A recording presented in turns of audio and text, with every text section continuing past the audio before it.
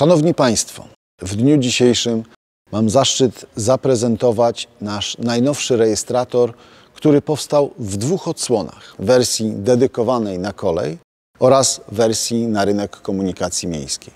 Zarówno jedna, jak i druga wersja PVR mają wiele cech wspólnych, między innymi tą, że obsługują do 26 kamer, a obraz z tych kamer prezentujemy na siatkach składających się z czterech, dziewięciu czy nawet 16 kamer. Wszystko zależy od wielkości ekranu, jaki mamy do dyspozycji.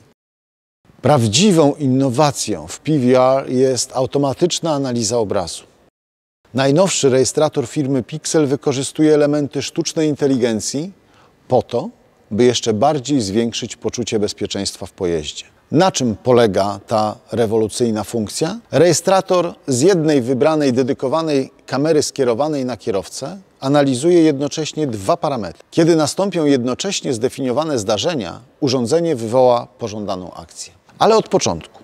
W pierwszej kolejności rejestrator wykonuje detekcję twarzy. Z rozpoznanej twarzy wyznacza dwa obiekty, czyli oczy. Następnie analizuje mrugnięcia oczu, zapisuje je, loguje każde jedno mrugnięcie oraz czas jego trwania. Kiedy te mrugnięcia będą robiły się zbyt długie lub też oczy nagle się zamkną, jesteśmy w stanie wyzwolić alarm wizualny. Jesteśmy też w stanie wyzwolić alarm dźwiękowy, a takie zdarzenie może zostać odnotowane w historii działania rejestratora. Drugi parametr, który jednocześnie analizujemy, to kąt pochylenia głowy względem barku. Jeżeli nastąpi gwałtowna zmiana kąta, w połączeniu z wystąpieniem pierwszego parametru, czyli przymkniętych oczu kierowcy, to wiemy, że prawdopodobnie stało się coś niepożądanego i należy wywołać sygnał dźwiękowy. Wykorzystanie sztucznej inteligencji w urządzeniach firmy Pixel to dodatkowa korzyść, z jakiej będą mogli czerpać wszyscy pasażerowie oraz operatorzy transportu. Kolejna nowość w rejestratorze po wdrożeniu technologii AI oraz zwiększeniu ilości obsługiwanych kamer to obsługa sześciu dysków. W poprzedniej wersji rejestratora mieliśmy cztery kieszenie, w tej wersji mamy sześć kieszeni 2,5 calowych. Możemy zamontować dyski talerzowe do 2 terabajtów każdy albo rekomendowane przez nas rozwiązanie, gdzie montujemy dyski SSD. Wyróżnikiem tych dysków jest przede wszystkim trwałość ze względu na brak elementów ruchomych w dyskach, więc dłuższą bezawaryjną pracę. Poza tym większa ilość dysków równa się dłuższy czas nagrań. Obsługa trakcji wielokrotnej. Funkcja dedykowana na rynek kolejowy w sytuacji, kiedy mamy więcej niż jeden zespół trakcyjny, np. dwa lub trzy, które łączą się ze sobą. W tym momencie rejestratory w sposób automatyczny nawiązują komunikację, mówiąc potocznie, dowiadują się o sobie, wymieniają się plikami konfiguracyjnymi, dzięki czemu w sposób automatyczny są ustawiane kamery lusterkowe. Jeśli łączą się dwa człony pojazdu, to mamy 8 kamer. Rejestratory wiedzą, która część pojazdu się połączyła i te najbliższe kamery lusterkowe zostają wyłączone, a obraz zostaje przełączony na kamery skrajne. Dodatkowo maszynista w swojej kabinie widzi podgląd z kamer z każdego kolejnego doczepionego członu pojazdu. Tryby działania rejestratora PVR, a tutaj raczej klasyka rodzaju. Tryb ciągły, czyli materiał nagrywany zawsze, gdy rejestrator ma uruchomioną funkcję nagrywania.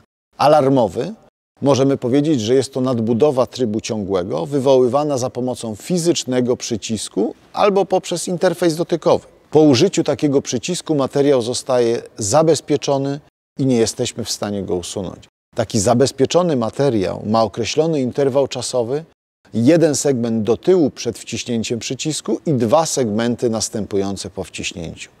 Czyli jeśli mamy ustawiony 3-minutowy segment w rejestratorze, to daje nam 9-minutowy odcinek, który zostanie w sposób trwały zabezpieczony. Dopiero po pobraniu nagrania przez PXRSS, czyli naszego oprogramowania do zamawiania nagrań, lub po pobraniu nagrania za pomocą pendrive, dopiero po tym istnieje możliwość skasowania nagrania, bo to jest poświadczenie, że zostały one skopiowane i zabezpieczone. Ostatni tryb nagrywania pociągłym i alarmowym to tryb według harmonogramu polegający na zdefiniowaniu przedziałów czasowych, w których rejestrator ma nagrywać. Kolejne funkcje PVR to m.in. nagrywanie dźwięku.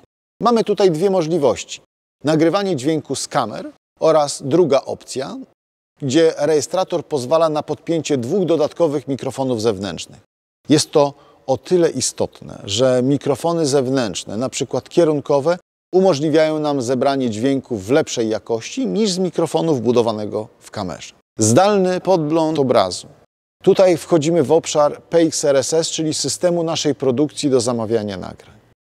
Jest to system, gdzie jesteśmy w stanie po wielu parametrach przefiltrować nagrania ze wszystkich pojazdów i pobrać to, co nas interesuje. Zobrazuję Państwu przykład. Wybieramy opcję pobierz nagrania ze wszystkich pojazdów w zakresie czasowym od godziny 12 do godziny 12.10, które przejeżdżały przez Rondo Kujawskie w Bydgoszczy. Kolejną funkcją jest podłączenie kamery cofania. Do rejestratora jesteśmy w stanie wpiąć szereg sygnałów pochodzących czy to z magistrali CAN, czy bezpośrednio czujników cyfrowych. Definiując taką kamerę w systemie możemy włączyć opcję rysowania pola cofania, wyznaczania linii pomocniczych, jak i łuków ułatwiających manewrowanie pojazdem, oczywiście za każdym razem, kiedy zostanie włączony bieg wsteczny. Jesteśmy w stanie wywołać także inne akcje, jak sygnał z dedykowanego, zintegrowanego autokomputera o wjeździe pojazdu w strefę przystankową, co spowoduje przełączenie się obrazu z kamer, które są skierowane na drzwi pojazdu. Można to też zdarzenie wywołać w inny sposób, przykład z poziomu czujnika otwarcia drzwi.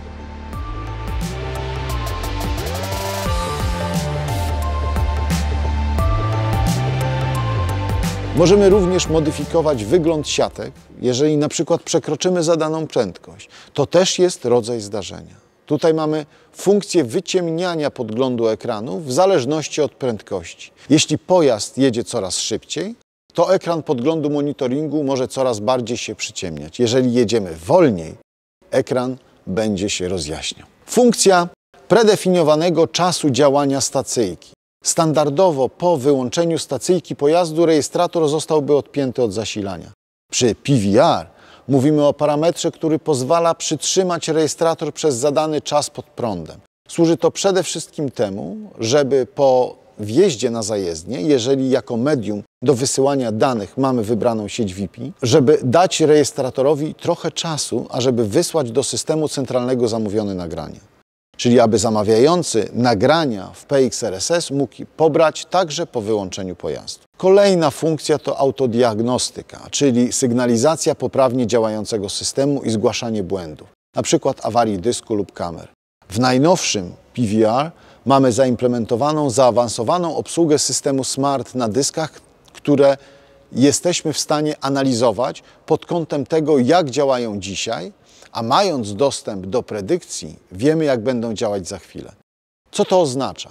Jesteśmy w stanie wyświetlić komunikaty dla użytkownika, wymień dysk twardy, który jest oznaczony konkretną literą. W najnowszym rejestratorze mamy litery dysków od A do F. Z analizy danych SMART wiemy, że ten dysk przekroczył któryś z parametrów pracy i w niedługim czasie może to spowodować jego awarię. Tak więc nie działamy po fakcie, gdy dysk już nie funkcjonuje, ale jesteśmy w stanie uprzedzić użytkownika, że ten dysk warto wymienić. Dodatkowo mamy diagnostykę post factum. Oznacza to, że w momencie, kiedy włączamy rejestrator, przed startem nagrywania robiony jest szybki skan dysków w systemie i kiedy system zauważy, że któryś z nich jest uszkodzony, wyrzuca go z kolejki dysków do nagrywania informując jednocześnie użytkownika, że ten dysk w takiej kieszeni z takiego powodu został uszkodzony i należy go wymienić. Warto zaznaczyć, że wystąpienie takiej sytuacji, czyli uszkodzenie jednego dysku, nie blokuje pracy rejestratora i nagrywania na kolejnych dyskach. Na koniec prezentacji podkreślę także funkcję redundancji w rejestratorze. Redundancja w PVR polega na tym, że mając sześć dysków, łączymy te dyski, wyznaczając trzy pary i dyski pracujące w parach nagrywają ten sam materiał. To oznacza, że obraz wideo jest jednocześnie nagrywany na dwa dyski w celu zabezpieczenia go przed ewentualnym fizycznym uszkodzeniem jednego z dysków z pary. Istotne jest to, że dla przykładu, wyjmując jeden dysk z pary, włożę go po godzinie dwóch bądź trzech, Rejestrator w sposób automatyczny wyrówna stany na tych dyskach, czyli synchronizuje je między sobą. Podsumowując, rejestrator dba o to, ażeby na tych dwóch dyskach, niezależnie od sytuacji, znajdowały się dokładnie takie same dane. Część naszych klientów już zdecydowała się na takie rozwiązanie i tutaj można podać przykład Krakowa.